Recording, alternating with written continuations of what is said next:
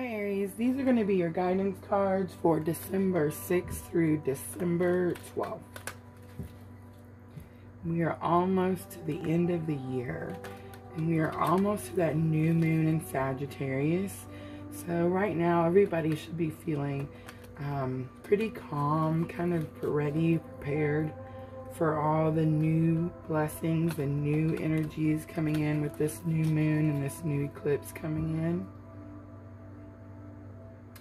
I am shuffling this week. Um, didn't shuffle last week. So um, we're kind of taking a vote. So just comment in the comment box and let me know. Um, shuffle, don't shuffle. We'll kind of tally them up and see how it goes and try to set like a routine. All right. So bottom of the deck energy, you got the King of Fire. And guidance card, Aries. Wow. The Eight of Fire.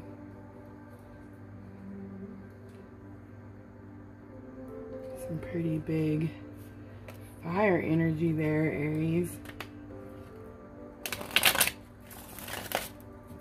I want to mention too, um, if you haven't got a chance to watch that video that I posted about the uh, full moon lunar eclipse in Gemini, uh, just make sure to watch that video. It had a lot of information, kind of explains um, how you might be feeling and and why. So, all right, Aries. So energy of the week, you got the sun.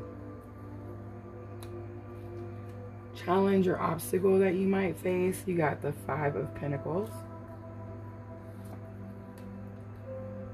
A lesson that you've already learned that can help you with that challenge or obstacle, you got the tower.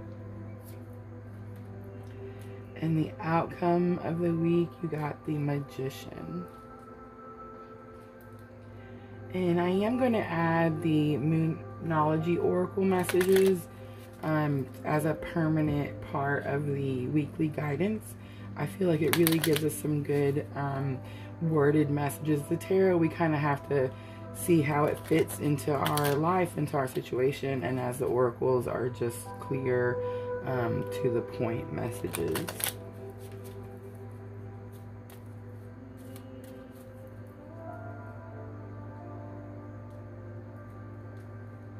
And I'll turn this one over last. Alright, Aries, let's get started. So, energy of the week, you got the sun, and the sun is all about bright hope. Um, so, we did just get done experiencing all that purging of old past hurts um, with that full moon lunar eclipse in Gemini. Um, so, it is pretty normal for all of us to kind of have this new uh, bright hope for our future. Um, so the sun also is about material happiness. Um, it could be about a joyous outcome or feeling successful.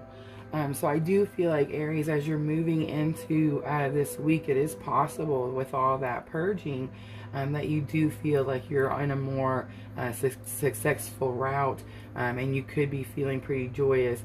Um, but with this Five of Pentacles being here as your challenge or obstacle, I do feel like it has something to do with material happiness. So Aries, there might be something um, that you're feeling you're either going to feel abundant in or you're going to feel a lack in.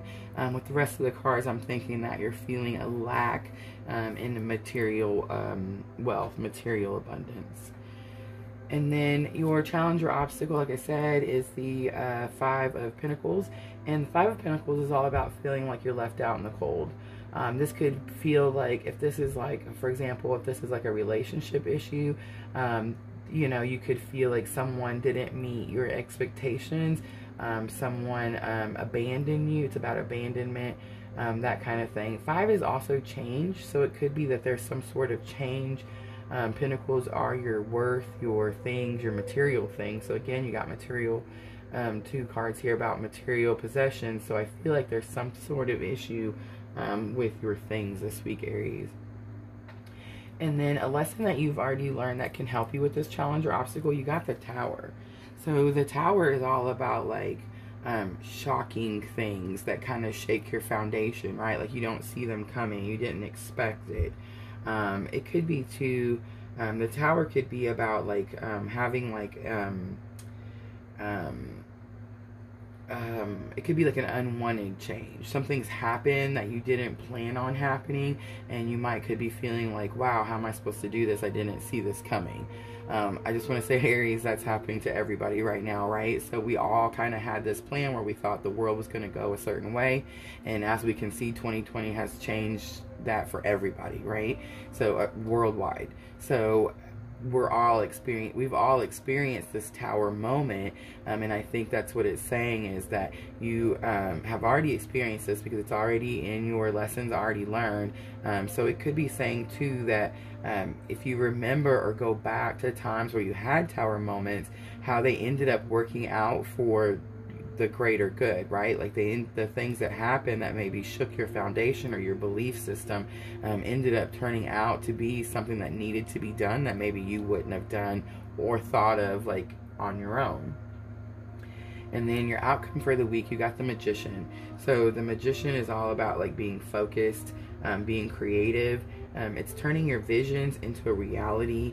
Um, it's an inspired action. Um, so I feel like it's possible um, that you're coming to the end of this week knowing that there's something you need to manifest um, to help you with whatever, if this is pentacles, like if this is material things, um, you're trying to come up with an idea. Um, if this is about a job, like you're trying to come up with a better job idea, um, something like that, but you're trying to manifest it. And the magician is very much as above, so below, right? So what he thinks in here, what he creates up here, is what happens out here. So I feel like it's very much telling you to stay positive this week, Aries, and try to uh, manifest, create, um, come up with the idea, think it through, strategize, plan uh, with the idea. Um, and then your bottom of the deck energy, you got the King of Fire. So bottom of the deck I've been doing because it really helps give us the energy of the entire deck. And then it explains to you what you need to do with your guidance card. So I just want to read um, King of Fire, some keywords real quick are proactive, inspirational, powerful, passionate, involved.